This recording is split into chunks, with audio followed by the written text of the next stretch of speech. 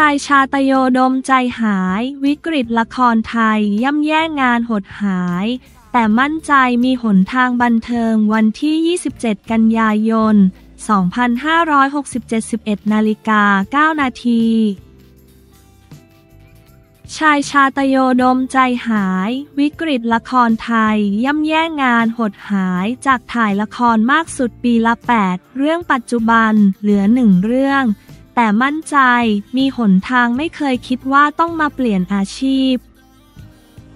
ละครไทยในขณะนี้ ถือว่าวิกฤตอย่างมาก คนดูน้อยลงช่องใหญ่ ลดกำลังผลิตลดต้นทุนลดทุกอย่างนะ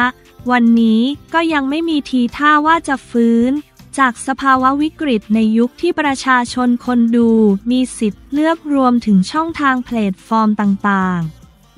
ที่มีมากมายหลายช่องจึงเลือกที่จะ rerun ละคร ล่าสุดวันที่ 26 กันยายน 67 ที่งานเก็บภาพการซ้อมการกลับมาขององครักษ์ ชาริฟ แห่งเมืองฮิลฟาราณเดชน์ คูกิมิยะ ละครเวที ฟ้าจรดทราย The Musicalลโรงละคร เมืองไทยรัชดาลัยเทียเตอร์ ชายชาตโยดมได้เผยความรู้สึกถึงวิกฤตละครไทยในขณะนี้ ก่อนหน้านี้บอกละครหายไปเยอะตอนนี้ขออัปเดตว่า มีละครใหม่เข้ามาหรือยัง ไม่มีครับ หัวเราะแต่มีที่ถ่ายอยู่ตอนนี้เรื่องหนึ่งครับ คือชายว่ามันต้องมีการเปลี่ยนแปลงเนื้อ พอถึงเวลาเราก็ต้องปรับตัวแล้วก็หาว่าทางเดินต่อไปจะไปอยู่ตรงไหน คิดว่าจะไปสุดที่ตรงไหน อาจจะลากยาวนะ อาจจะไม่ได้จบคือทุกคนไปต่อได้ เพราะฉะนั้นทุกคนก็พยายามที่จะไปด้วยสุดความสามารถของทุกคนอยู่แล้ว แต่เราแค่ยังไม่รู้ว่าจุดหมายปลายทางมันอยู่ตรงไหน คือถ้าเรารู้และจับได้แล้วว่าเป้าหมายอยู่ตรงไหน ก็จะไปในทิศทางนั้นได้ง่ายขึ้น แต่ตอนนี้เรายังไม่รู้ว่า ทิศทางเป้าหมายเราอยู่ตรงไหนเท่านั้นเอง แอบใจหายไหม ละครไทยเคยเฟื่องฟูแล้วมาเกิดการเปลี่ยนแปลง ใจหายด้วย แต่ในขณะเดียวกันก็เหมือนสัมผัสมาได้สักพักใหญ่แล้ว ของชายไม่ใช่แค่ช่วงปีที่ผ่านมา คือปีที่แล้วคือช่วงที่ละครเยอะๆหลายๆ เรื่องแล้วก็ค่อยๆ เงียบไปเงียบแบบแปลกๆ แล้วก็ทิ้งช่วงมาถึงตอนนี้ ก็แบบอ๋อ โอเค เข้าใจแล้วว่าเกิดอะไรขึ้น จากปีละกี่เรื่องตอนนี้เหลือเท่าไหร่ อย่างตอนที่เยอะๆเลยปีนั้นประมาณ 8 เรื่อง ก่อนหน้านั้นก็ 3 4 ห้าเรื่องคืออย่างน้อย ก็มีงานที่ต่อเนื่องอยู่ตลอด แต่พอทันขายช่วงปับ๊บ ก็เอ๊ะ มันเกิดอะไรขึ้น มันดูเงียบเงียบไปแล้วมันก็เงียบยาว ในความเป็นทั้งผู้กำกับทั้งนักแสดงเราช็อกไหม มันอยู่เหนือการควบคุมจริง ๆ นะ อย่างนักแสดงตัวเล็กๆ ก็ยังทำอะไรไม่ได้องค์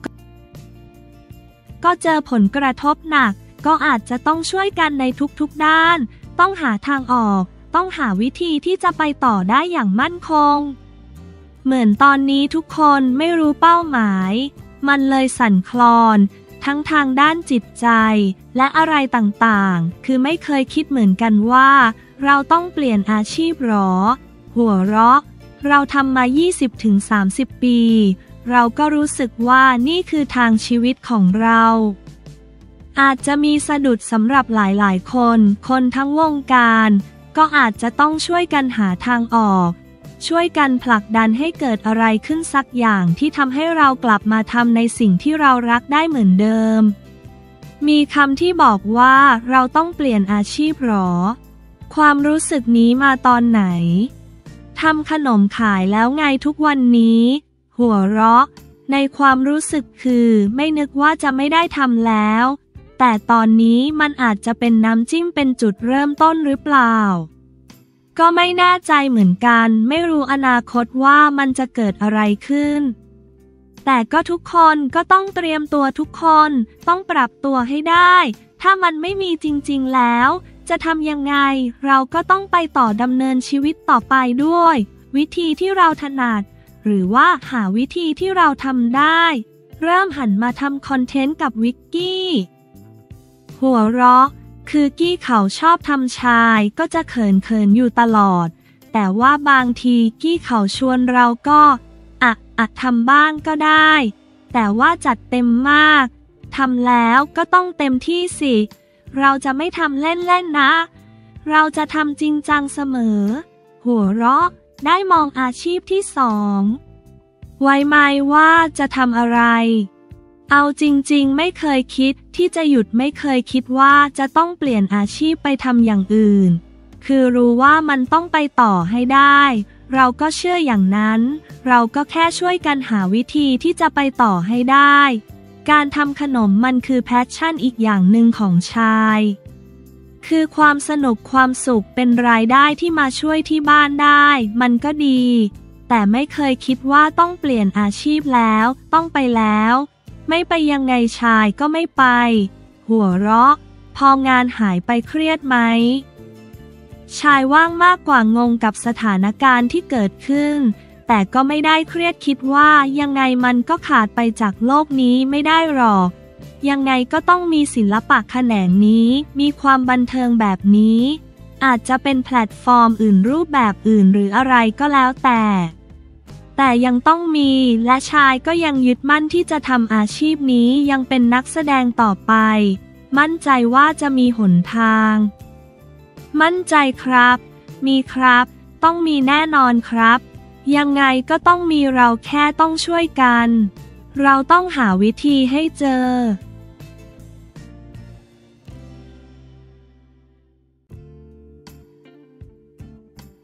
ธรรมนัดเย้ยพอปชรอ ดูแล22ให้ดีโว ถ้ายังอยู่ บิ๊กป้อม คงไม่อ่วมขนาดนี้ การเมืองวันที่ 26 กันยายน 2567 16นาฬิกา 12 นาที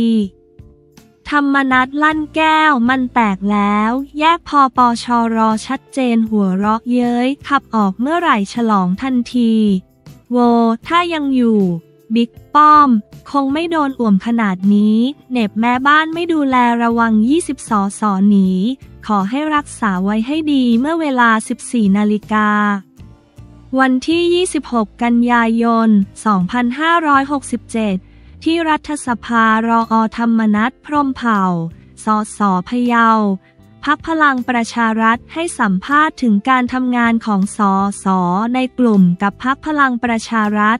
ว่าคงเป็นไปไม่ได้แก้ว มันไม่ร้าวมันแตกไปแล้ว ในเวลานี้ก็แยกกันชัดเจนนั่งในสภาก็แยกกันชัดเจน เมื่อถามกังวลหรือไม่ ว่าพักพลังประชารัฐอาจจะมีมาตรการอื่น ตามมารออธรรมนัฐกล่าวว่าไม่ได้กังวลและไม่ได้ใส่ใจสิทธิของการเป็นสสมีรัฐธรรมนูญคุ้มครองอยู่ข้อบังคับพักอย่าไปพูดมาก พูดมาก เดี๋ยวคนเขาเบื่อเอาไว้ใช้ในพักโทษสูงสุด คือขับออกกลุ่มตนผ่านอะไรมาเยอะแล้ว เมื่อถามย้ำว่าท้าให้พักขับออกหรือไม่รออธรรมนัตหัวเราะพร้อมกล่าวว่า ขับเมื่อไหร่ผมฉลองเลย ผมยังยืนยันเหมือนเดิมว่า ไม่ได้เกลียดใคร ไม่ได้โกรธใคร และมีความเป็นตัวของตัวเอง โดยเฉพาะกลุ่มของผม หลายท่านก็ถูกข่มขู่ในหลายเรื่อง ผมว่าควรจะหยุดได้แล้ว ต่างคนต่างเดินส่วนที่มีคนไปร้องเรื่องที่เข้ากระทรวงเกษตร และสหกรณ์รออธรรมนัตกล่าวว่า ใครร้องเชิญเลยเขาห้ามหรือคนเราอ่านกฎหมาย อย่าอ่านมาตราเดียว แล้วอย่าเล่นการเมืองมากเกินไป อะไรที่เกิดประโยชน์กับประชาชน อย่าไปขัดอย่าไปขวางตนใช้ชีวิตมาถึงทุกวันนี้ เรื่องเล็กน้อยตนไม่กลัวอย่ามาขู่เลย ใครสวนมาใครแรงมาตนสวนกลับเหมือนเดิมสไตล์ตน เมื่อถามว่าการเข้าไปในกระทรวงเกษตรศาสตร์ ไปทำอะไรและในฐานะอะไรรออธรรมนัตกล่าวว่าน้ำท่วมบ้านตนแล้วน้องชายเป็นรัฐมนตรีอยู่ตน จะเข้าไปกินข้าวกับน้องไม่ได้เลย หรือมันเกินไปแล้วอย่าเยอะเกินไปฝากบอกทุกคน รวมทั้งสื่อบางสำนักด้วย ต่อข้อถามว่า ตอนนี้พลเอกประวิตยวงสุวรรณสอสอบัญชีรายชื่อหัวหน้าพักพลังประชารัฐโดนข้อคารหา ไม่มาประชุมสภามีอะไรอยากจะฝากหรือไม่รออธรรมนัต กล่าวว่าไม่มีส่วนที่พลเอกประวิตยโดนโจมตีตอนนี้ เป็นห่วงอะไรหรือไม่รออธรรมนัตกล่าวว่า ถ้าตนยังอยู่ ท่านจะไม่โดนแบบนี้ เราดูแลให้อยู่ในกรอบของกฎหมายของการเป็นสอสอไม่ใช่เอาใจแล้วนำท่านไปในทิศทางที่ผิด เราก็ต้องฟังเหตุผลว่าท่านลา เพราะอะไร ตนไม่ได้ว่า ใครมันเป็นหน้าที่ของแม่บ้าน เมื่อถามว่าเป็นเพราะแม่บ้านใช่หรือไม่รออธรรมนัตกล่าวว่าไม่ทราบไม่อยากวิจารณ์ตนคิดว่ารักษา 20 คนให้ดีๆ อย่าให้เขาหนีไปไหนอีกขอย้ำว่า เราก็คุยกันไม่ได้โกรธใครเมื่อถามว่าสอสอที่ยังอยู่จะข้ามมาฝั่งของรออธรรมนัตหรือไม่รออธรรมนัต กล่าวว่า ฝั่งตนตนไม่รับอยู่แล้วตนพอ เท่านี้พอแล้ว เดี๋ยวจะหาว่าไปทำอะไรพักเขาอีก ยังยืนยันเหมือนเดิมว่าการเป็นนักการเมือง ต้องดูว่ามันจะรอดหรือเปล่าในอนาคต นักการเมืองทุกคนต้องการมีอนาคต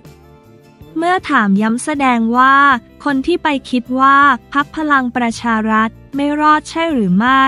รออธรรมนัตกล่าวว่า ไม่ทราบจะให้ตอบตรงๆหรือไม่ เดี๋ยวจะไปอีกแปด